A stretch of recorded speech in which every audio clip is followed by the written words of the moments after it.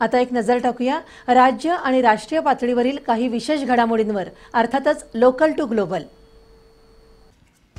अशोक चव्हाणांच्या त्या वक्तव्यामुळे महाविकास आघाडीत नाराजीचा सूर सरकारमधील धुसफूस कायम.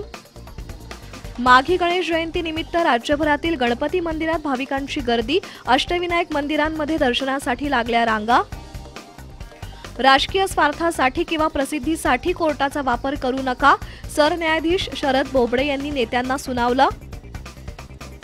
यापुढे कोणत्याही राजकीय बंदमध्ये व्यापारी सहभागी होणार नाहीत महाराष्ट्र चेंबर ऑफ कॉमर्सचा ठराव. राज्याच्या विकासाची गाडी मेट्रोप्रमाणे वेगानं धावणार विकासात राजकारण आणणार नाही मुख्यमंत्री उद्धव ठाकरे यांनी व्यक्त केला विश्वास. सीएए आणि एनआरसीच्या समर्थनासाठी तीनशे फूट लांबीचा तिरंगा घेऊन आभाविपची पुण्यात निघाली तिरंगा रॅली तर विरोधासाठी पुण्यातील घोरपडे पेठेतील नागरिकांचं मुंडन आंदोलन.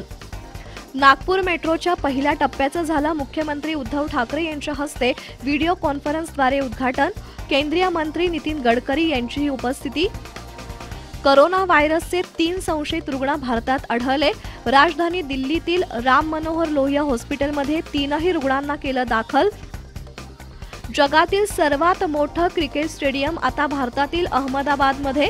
सरदार पटेल स्टेडियममध्ये एक लाख दहा हजार प्रेक्षकांची क्षमता. लवकरच स्टेडियम खुलं होणार. बँक कर्मचाऱ्यांकडून पुन्हा एकदा संप. शुक्रवारपासून तीन दिवस बँका राहणार बंद. पाकिस्तानचा पराभव करण्यासाठी दहा दिवस पुरेसे पंतप्रधान नरेंद्र मोदी यांचा हल्लाबोल एनसीसी रॅली दरम्यान केलं वक्तव्य.